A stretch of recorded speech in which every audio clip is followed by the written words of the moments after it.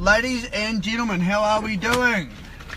Cameron Stewart calling in here from the majestic South Auckland suburb of Otara.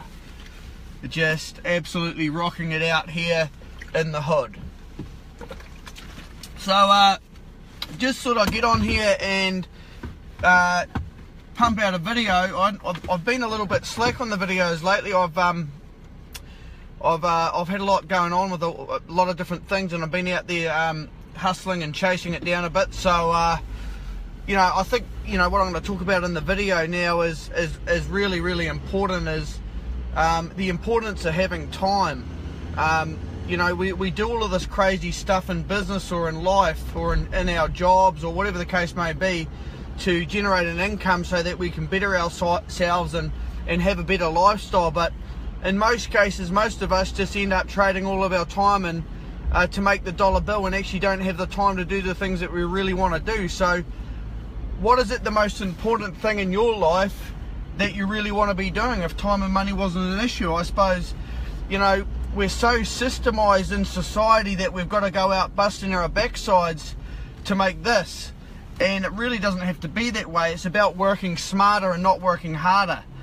And uh, I think, you know, I, I, know from, you know, and I've mentioned before in a previous video about a lot of the young guys are getting promised this and that, going through university, um, getting these degrees and promise that they're going to have this fantastic life and all the rest of it. And then they just come out and they're on a treadmill, on a treadmill to nowhere.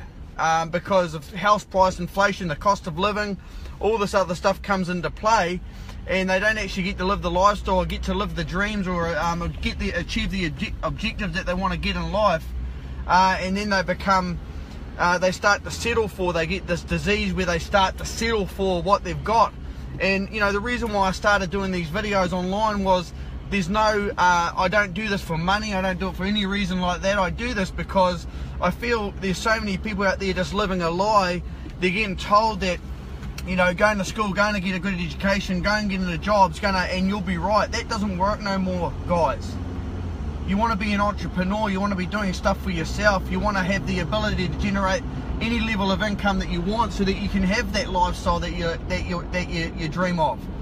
And the, the problem is with uh, traditional uh, traditional jobs or traditional work um, it's really hard to go and achieve that because you just end up trading all your time. You end up going to work 8 to 5 or 7 to, to 6 or whatever it is that you do in a job and busting your backside and, and really gaining no major traction.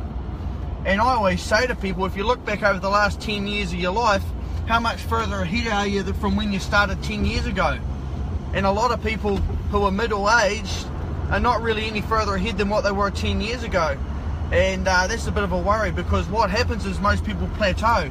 See, the reason why I'm saying this is in life, it's not about how much money you have, but how much time do you have. You know, when something happens to a loved one, and uh, you know you, you need to be there for the family, you need to be there for your mum or your dad or your sister or your brother or whatever the case may be, and then you've got to go back to work. You, you can only have a limited amount of time off. Like that would be a logistical nightmare. So you want to you want to set yourself up now so that you can be there for people when you when you need to be there. Because at the end of the day we all have a birth. We all start here when we're born and we all die here.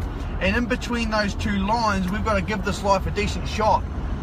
And what I'm seeing with so many people is so many people are not living their life to their full potential and they're settling for and you don't have to you can live you can achieve anything that you want to achieve and it doesn't have to be financial. It might be sport it might be it might be religion it might be uh, charity. I don't know. I don't know what it is that you want to do but get out there and live your life to your full potential because time is of the essence here. We don't have a lot of time.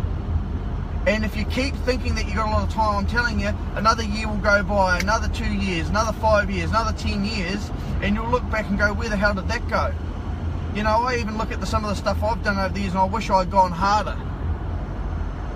You know, and and I wish I'd done things differently, but you can't wind back the clock. What's been is done. So what you can change is from now on, moving forward, and buying back your time is so vital, guys, so that you can live the life that you want to live. So you can have time. I see Arns on here, a, a very close friend of mine. very, very successful property investor, and he has a lot of time with his family. He knows the importance of having time. He knows the importance of having money so that he can have security for him and his family. And that's what's missing in most people's lives is they don't have the security. I'll ask you this question.